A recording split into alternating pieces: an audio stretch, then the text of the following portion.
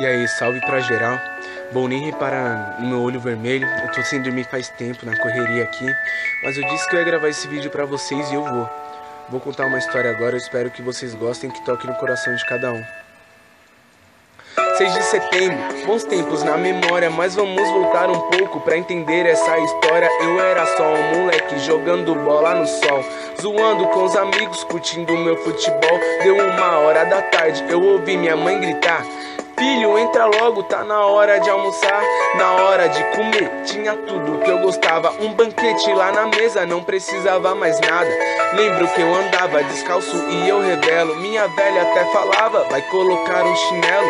Lembro dos avisos que ela sempre me dava. Cuidado com amizades que não te levam a nada, mas cê sabe como é. O tempo foi passando, chegando na adolescência, muita coisa foi mudando.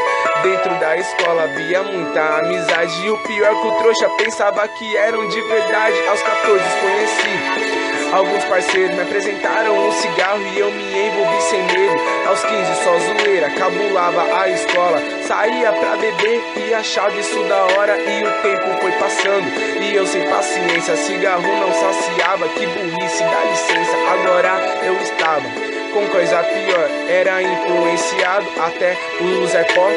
Achava que aquilo não ia fazer diferença. Mas é que eu fui mente fraca, ouvindo umas influências. Num certo dia cheguei, querendo grana e tudo mais. Minha mãe disse que não tinha pra deixar ela em paz.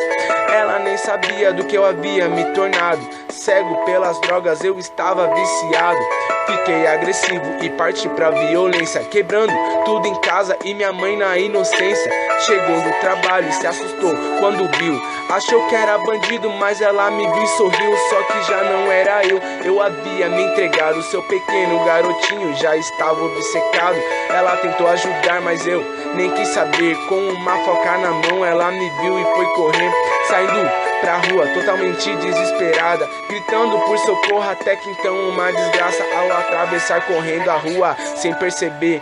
Havia um carro a mil e ela não conseguiu ver. Ouvi um grito, fui correndo, torcendo, pra não ser quem eu pensava, mas era bem ela mesma. A minha guerreira sofrendo, agonizando, e eu pedindo para Deus para não levar meu anjo. Ligaram pro SAMU, mas estava demorando. As últimas palavras dela, eu te perdoo, eu te amo. Meu anjo havia ido, estava tudo acabado. Fui me perder nas drogas e perdi minha mãe do lado. Fique esperto aí com os amigos e parceiros que dizem que estão no teu lado, porque no final, a única pessoa que tá do lado é sua mãe, seu pai e Deus. Tem pessoas que não vale a pena não.